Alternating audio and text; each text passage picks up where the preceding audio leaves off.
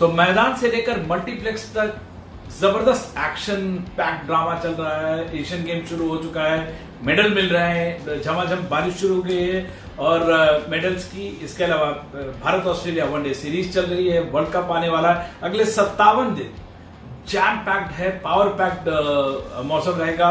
अगर स्पोर्ट्स की बात करें फ़िल्म की बात करें और फेस्टिवल्स की त्योहारों का मौसम शुरू हो जाता है। त्योहार और फ़िल्मों के लिए उर्वशी उर्वशी फ़िल्मों पे काफ़ी रुचि रखती हैं जानकारी रखती है एक्सपर्ट है। तो त्योहार का मौसम शुरू हो रहा है कि एक तरह से फेस्टिवल तो है ही।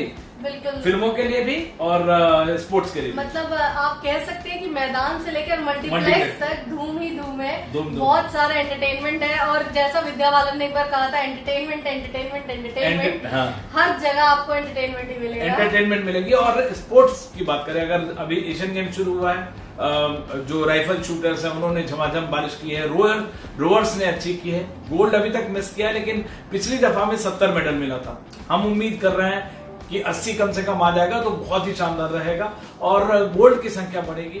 अधिकारी 100 की बात कर रहे हैं, लेकिन 100 मुझे थोड़ा सा दूर की कौड़ी लगती है। इसके अलावा एशियन गेम्स के तुरंत बाद जो अगले जैसे आठ एशियन गेम्स खत्म हो रहा है, आठ को, उससे पहले पाँच से लेके उन्नीस नवंबर तक वर्ल्ड कप का सीज़न शुरू हो रहा है और पहला मैच जो इंडिया का ऑस्ट्रेलिया के साथ है।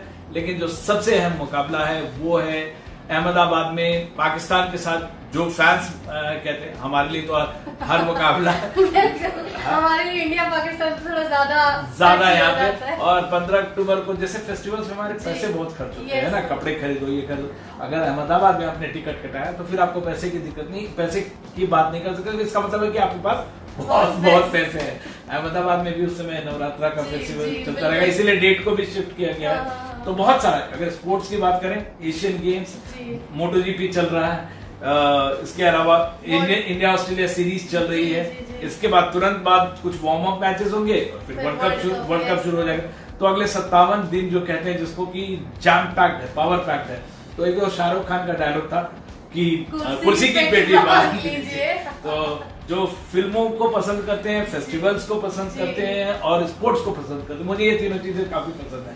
तो अगर फ़िल्मों की बात करें फ़िल्मों में जैसे स्पोर्ट्स तो जैम पैक्ट है मैदान से मल्टी मल्टीप्लेक्स हाँ, हाँ, हाँ। में क्या हालत है मल्टीप्लेक्स में अगर मैं बात करूँ तो शाहरुख खान ने शुरुआत काफ़ी अच्छी की और जैसे कि क्रिकेट की आ, मतलब क्रिकेट की भाषा में कहा जाता है कि उन्होंने स्टार्ट अच्छा दिया है और मुझे लगता है कि वो फिनिश भी बहुत अच्छा देंगे हाँ। क्योंकि वो डंकी आ, मतलब शाहरुख खान की डंकी एक इस साल की मच अवेटेड फ़िल्म है। राजकुमार हिरानी के साथ उनका फ़र्स्ट कोलैबोरेशन है।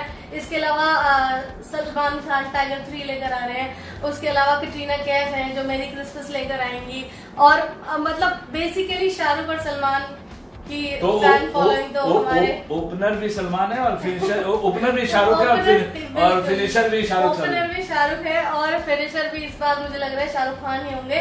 एक गदर 500 करोड़ रुपए का बिज़नेस जी जी। गदर ने 500 करोड़ से ज़्यादा की कलेक्शन कर ली है। हम्म। और ये जो जवान रिसेंटली आई है ये भी हज़ार करोड़ के करीब है। मतलब की कह सकते हैं कि शाहरुख खान ने वर्ल्ड कप से पहले छक्का मार दिया है। छक्का मार। और कौन से पिक्चर्स और कौन सी आ रही जहाँ पे लोग मल्टीप्लेक्स में जाएँगे? हालाँकि इधर फिर से कल्चर बढ़ा हम लोग बचपन में अगर कहीं पिकनिक जाना होता था या छुट्टी कुछ अच्छा करते तो तो पूरी फ़िल्म पिक्चर जाती थी। वो कल्चर फिर से मल्टीप्लेक्स की वजह से। जी आ, मतलब आप कह सकते हैं कि फैमिली एंटरटेनर्स की लाइन लगने वाली है। हाँ। क्योंकि तो आपने बताया सलमान खान टाइगर थ्री लेकर आ रहे हैं। एक डंकी आपने एक शाहरुख खान की डंकी आ रही है। है और अक्षय कुमार मिशन रानीगंज लेकर आ रहे हैं हाँ। जिस पर अभी से काफ़ी बज शुरू हो गया है ट्रेल उन्होंने टीजर कर दिया है गाना रिलीज़ कर दिया है कैटरीना कैफ की मेरी क्रिसमस आएगी उसके अलावा कंगना रॉत इमरजेंसी लेकर आ रही है।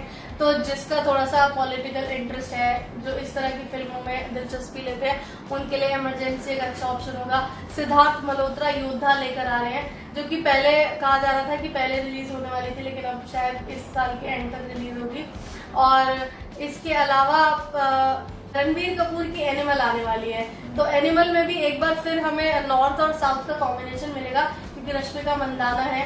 और रणबीर कपूर है, बॉबी देओल भी है इस फ़िल्म में तो मतलब काफ़ी इम्प्रेसिव लग रहा है तो ऐसा लग रहा है कि ये जो फ़िल्म है वाली मास हाँ। जी नहीं मैं मैं, मैं उन, उनकी फ़िल्में देखता हूँ। मैंने साउथ इंडियन पिक्चर्स भी देखी अच्छा मैं तो सारे मैचेस देखूँगा वो मेरी रिस्पॉन्सिबिलिटी भी है और मुझे अच्छा भी लगता है।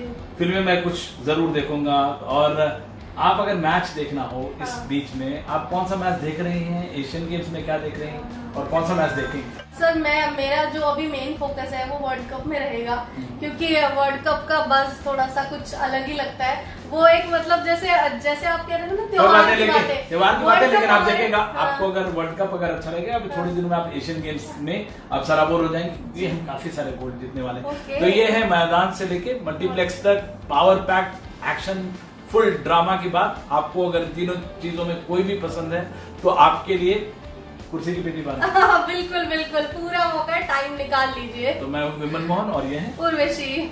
हम लोग दोनों एनडीटीवी से आपका बहुत बहुत शुक्रिया वॉच करने थैंक यू सो मच